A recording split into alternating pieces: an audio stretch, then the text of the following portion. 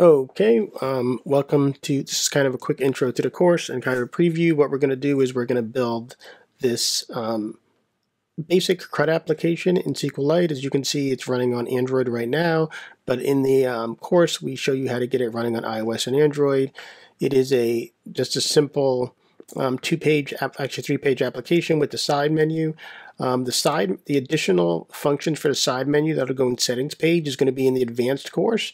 Um, this course will not cover um, how to use the setting page to load JSON into your database, um, to export content from your database, to have it mailed to you, um, and other additional features. Um, we're just focused here on the key CRUD functionality. Um, and so what you can do with this application is, so clearly you can list data that's in your SQLite database.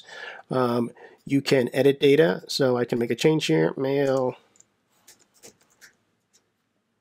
and I can update the contact. Um, I can delete a contact and I can add a new contact.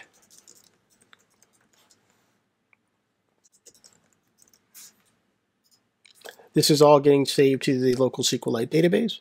Um, a couple of other things to know is, as I said, we're using Ionic, Ionic uh, Vue. Ionic Vue gives you access to the native tooling, all of the um, actual resources. Um, here's a great tutorial to kind of get you started, but um, the real value I find in Ionic are the components. We don't go deep into the components either. Once again, we'll go deeper to components in an advanced course. And then the last part is this SQLite plugin that we're utilizing here.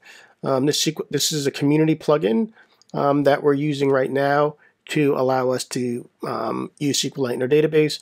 Once again, we're not covering some of the more advanced features that are provided here.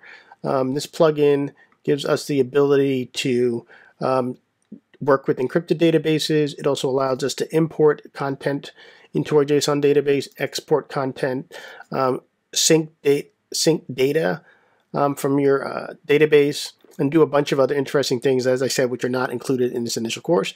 Um, the primary objective of this initial course is to show you how to use um, Ionic with Vue, Ionic Capacitor, Ionic Capacitor plugins, and to use capacitors to deploy on iOS and Android.